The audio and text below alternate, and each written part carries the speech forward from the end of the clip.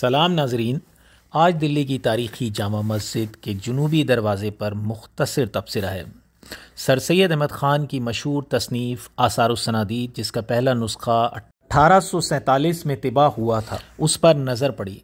नहायत ही खूबसूरत अंदाज में सर सैद ने इस दरवाज़े की बना के अलावा सखावती पहलू की अक्कासी की है, जो इस शहर अजीम, यानी कि शाहजहानाबाद के गुज़रे हुए वक्त की नुमाइंदगी करता है। सर सैद कुछ इस तरह से लिखते हैं दरवाज़ा जनूबी मस्जिद जाम। जनूबी दरवाज़ा इस मस्जिद का चितली कबर की बाज़ार की तरफ़ वाक़ है। इस दरवाजे की सीढ़ियों पर तीसरे पहर मजमा आम होता है। बिसाती अपनी अपनी दुकानें लगाते हैं और तरह तरह की चीज़ें बेचते हैं और फालूदे वाला अपनी दुकान को आरास्ता करता है। शरबत कंद और फालूदा रंगीन बेचता है।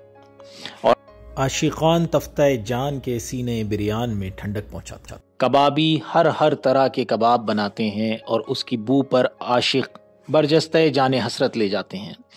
अजब अजब तरह के जानवर और असल असल मुर्ख बिकते हैं। और जवानान फरिश्ता सूरत अयाम नूरूज़ में बैदा मुर्ग लड़ाते हैं कि आसमान भी उनकी जफाकशी और नीरंगी पर रश खाता है।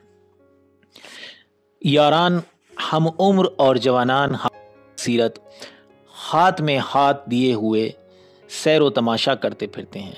नमाजी आवाज़ अजान सुनकर दौड़ते हैं और मानंदे फरिश्तों के सऊद आसमान का इरादा। सीढ़ियाँ इस दरवाज़े की तादाद में तैतीस हैं। ऐसी खूबसूरत और खुशनुमा हैं कि उसकी खूबी के बयान की मजाल नहीं, संग सुर्ख और इसकी सुर्खी लब पान खुर्दा माशूक पर फोख ले गई है। और संग मरमर इसका ब्याज गर्दन जानान से खुशनुमा ज़्यादा है।